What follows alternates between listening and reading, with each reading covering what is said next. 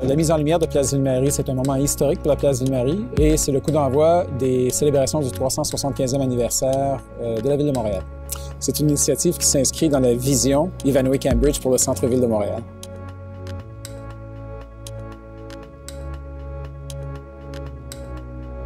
La lumière maintenant fait partie de la mise en valeur des villes, des centres-villes et des édifices phares des centres-villes. Au centre-ville de Montréal, s'il y a un édifice phare entre tous, c'est bien la place d'une Marie. À Tourisme Montréal, on l'utilise déjà comme élément distinctif du centre-ville.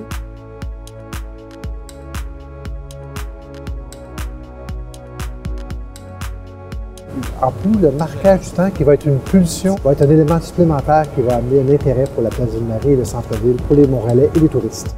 Cet édifice derrière a été le plus beau de Montréal quand il a été construit. Et ce qu'il y a d'extraordinaire, c'est qu'à partir de ce soir, il va être encore plus beau parce qu'il va être illuminé.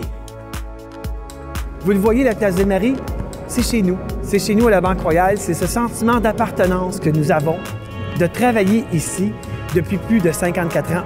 Vous le voyez, la place de Marie, c'est la couleur bleue. Et chez nous, RBC, c'est notre couleur. Et de voir ces couleurs-là ici s'illuminer sur la place de Marie, dont le bleu, ça nous rend encore plus fiers. Merci pour le 375e, mais vous éteignez pas après le 375e, là. Ça reste.